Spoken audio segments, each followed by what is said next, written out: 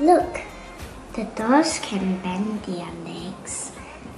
They can move their heads and her hands can move. Wow, so cool.